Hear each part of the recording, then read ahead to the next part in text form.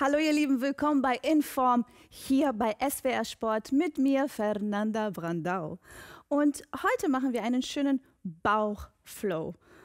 Jeder möchte einen schönen Bauch haben, nur wissen wir ganz oft nicht, wie kommen wir dahin, welche Übungen machen wir, was essen wir. Heute geht es um die gesamte Bauchmuskulatur, um die geraden Muskeln, die schrägen, die seitlichen, alles. Der gesamte Chor wird jetzt bearbeitet in einem Flow. Das heißt, wir machen keine Pause, sondern machen eine Übung nach der anderen, bis die Zeit zu Ende ist. Bist du bereit? Dann starten wir mit einem ganz kleinen Warm-up von einer Minute 15. Und wenn du möchtest, es gibt einen XL Warm-up hier in unserer äh, Bibliothek, Videothek. Schau es dir einfach an. Atme einmal tief ein und wieder aus. Und nochmal einatmen und aus. Und wir laufen locker auf der Stelle. Hier geht es nur darum, unseren Kreislauf in Schwung zu bringen, ein bisschen aufzuwecken. Und wir ziehen die Knie nach oben. Sehr schön. Locker das Ganze. Es ist nur ein Warm-up. Gleich werden wir uns auf den Boden legen und uns nur unserem Bauch widmen. So, relaxen, kurz ausschütteln.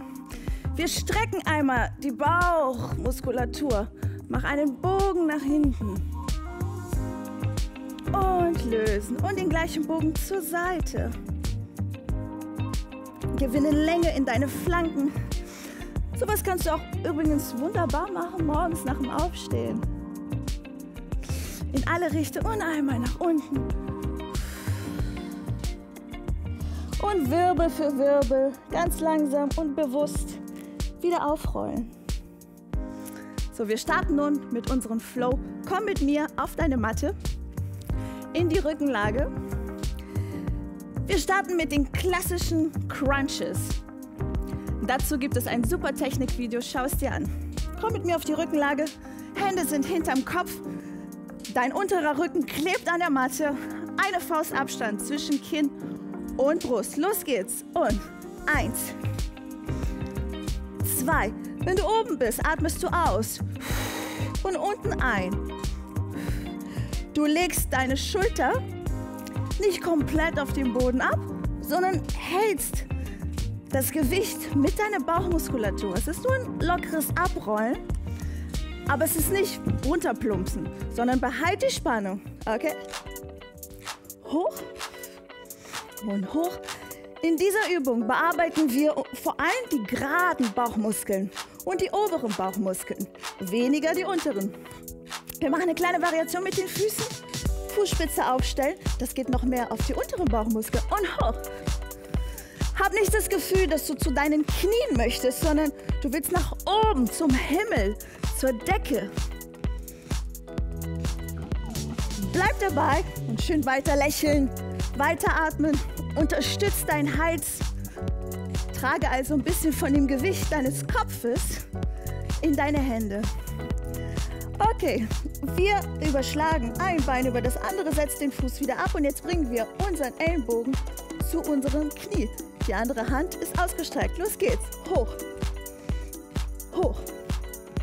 Das gleiche Prinzip. Du atmest aus, wenn du oben bist und unten ein. Und jetzt bleib hier oben und mach nur kleine Bounce. Bounce. Bounce. Unser Bauch liebt es, wenn wir die Geschwindigkeit der Übung verändern. Da merken wir immer sofort einen Effekt. Ich merke den auf jeden Fall. Und lösen. Wir machen das Ganze auf der anderen Seite. Ellenbogen zum Knie. Los geht's. Und ausatmen. Ein, aus, ein.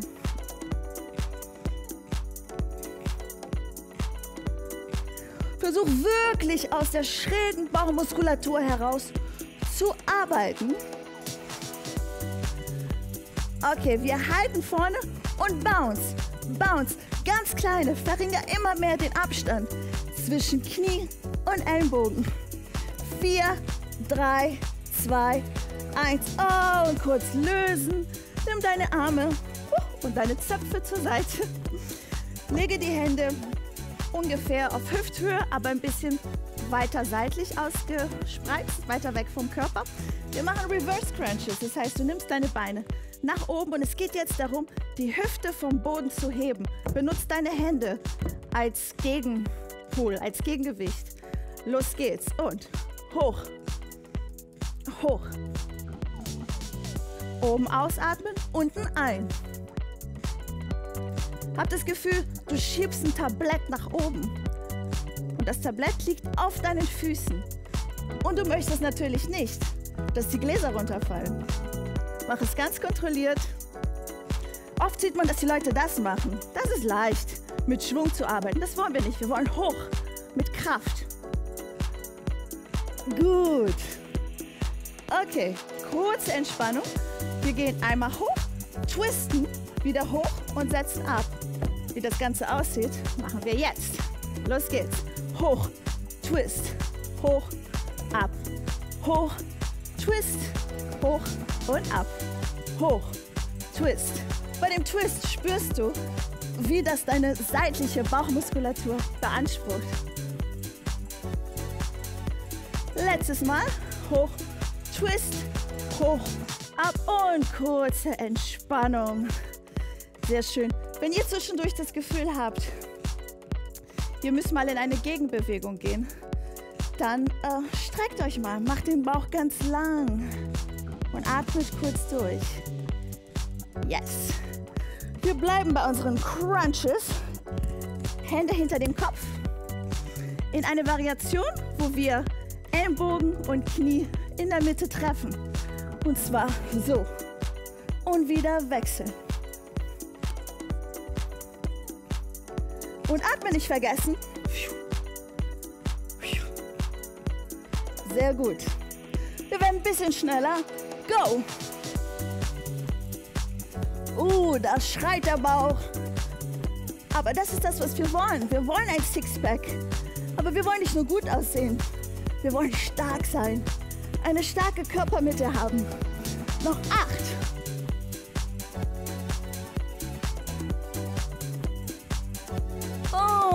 Lösen. Kurz relaxen.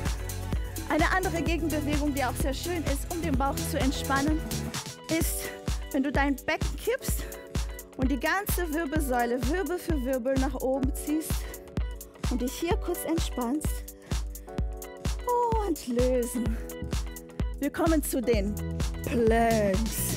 Auch dazu haben wir ein Tutorial, wo wir genau erklären, wie man richtig plankt.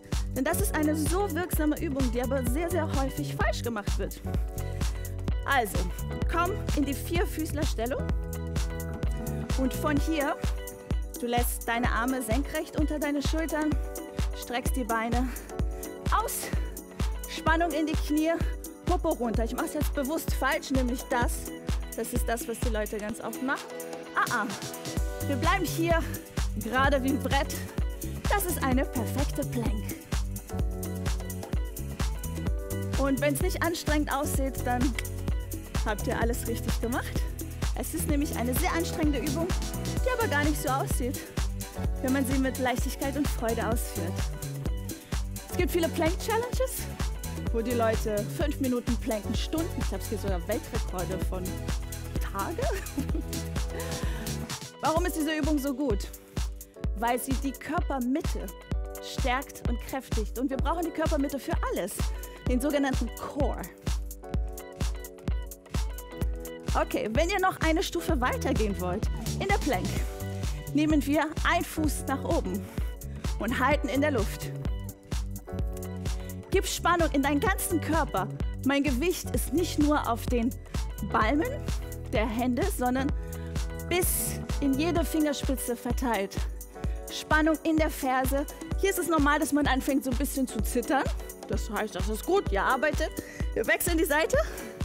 Und zack, Korrigiert euch immer wieder selber. Wenn der Po nach oben geht, bring ihn weiter runter. Aber häng hier nicht durch, das ist falsch. Da wollen wir sein. Ganz stabil, ganz fest. Sehr gut. Kleine Pause, leg deine Knie auf den Boden und bring dein Gesäß nach hinten. Streck die Arme. Das ist nur eine kurze Entspannung. Das ist die sogenannte Child's Pose. Dazu haben wir auch ein tolles Tutorial.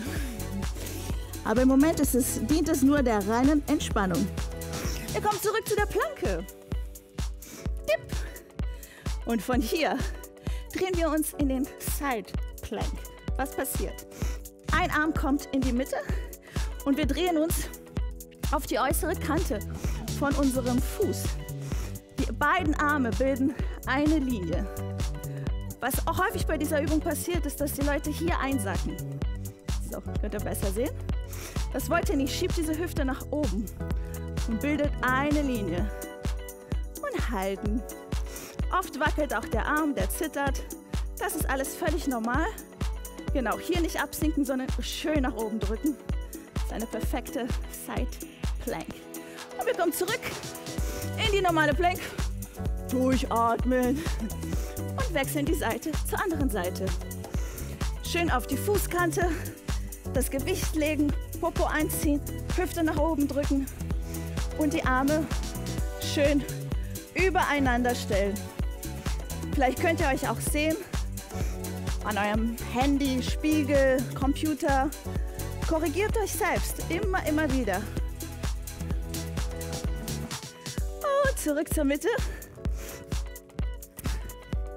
Wir halten die Plank, aber jetzt in einen Unterarmstütz.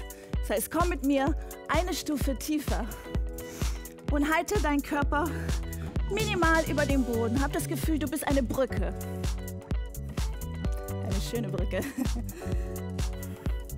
halten, halten. Was auch echt hilft, ist, wenn ihr das Gefühl habt, ihr zieht eure Ellenbogen zu euren Füßen. Das sorgt für eine extra Spannung hier in diesem mittleren Bereich. Ich liebe diese Übung. Und lösen. Kommt zurück in die Rückenlage. Jetzt kommt The Great Ending. Schönes Abschluss. Eine sehr, sehr, sehr schöne Abschlussübung. Eine meiner Lieblingsübungen. Kommt aus dem Pilates. Heißt 100. Beim Pilates atmen wir ein bisschen anders. Und diese Atmung erkläre ich euch jetzt. Atme tief ein durch die Nase. Und beim Ausatmen wird dein Bauch ganz flach und klebt auf dem Boden. Der Rücken klebt auf dem Boden. Hier passt nichts zwischen. Okay? Halte diese Spannung in der Mitte und atme nur noch in die Flanken rein. Hier bleibt alles gleich. Du atmest aber weiterhin. Okay? Nimm die Füße nach oben im 90-Grad-Winkel. Die Arme sind gestreckt und mit ganz, ganz, ganz viel Spannung. Und wir wippen nur. Wippen, wippen, wippen. Und schneller werden. Und hol die ganze Kraft aus der Mitte deines Körpers. Okay? Und denk daran, dass der Bauch hier unten flach bleibt, dass der untere Rücken im vollen Kontakt zu der Matte steht. Halte auch ein bisschen Abstand zwischen Kinn und Brust. Wir wollen ja den Doppelkinn vermeiden und weiter lächeln und weiter wippen. Komm noch ein bisschen. Das ist unsere letzte Übung. Die Hero-Übung. Die Handels gehen auch ein bisschen komplizierter mit ausgestreckten Beinen. Aber wir machen heute mal die milde Variante für dich zu Hause. Noch 20 Sekunden. Komm, jetzt komm noch ein bisschen weiter nach oben mit deinem Oberkörper und gib noch mehr Power in die Arme. Yes. Und wippen, wippen, wippen. Sehr, sehr gut. Sechs, fünf, vier, drei, zwei, eins. Uhu, du hast es geschafft. Wir machen unsere Übung zur Entspannung. Zieh dein Steißbein zuerst hoch, kipp das Becken nach oben. Wie eine Schneekette ziehst du jeden einzelnen Wirbel hoch und mach dich rund, sodass du auf den Schultern liegst Deine Hände kannst du zusammenbringen zu einer Faust unter deinem Rücken. Und versuch zu entspannen. Es hat ja nichts damit zu tun, den Po besonders anzuspannen, sondern wirklich den Bauch zu dehnen. Und relaxen. Wir haben ein schönes XL-Cooldown für dich, wenn du alle Körperpartien entspannen möchtest und eine schöne Dehnung haben willst Guck dir die Videos einfach an. Und was noch zu einem schönen Bauch gehört, ist natürlich die perfekte Ernährung. Ich mache gerne zum Beispiel Green Juices oder Ingwerwasser, Alles, was den Stoffwechsel unterstützt und auch die Verdauung unterstützt. Denn der Sixpack, der wird in der Küche gemacht, nicht auf der Matte. In diesem Sinne, bis zum nächsten Mal, wenn es wieder heißt, in Form mit mir.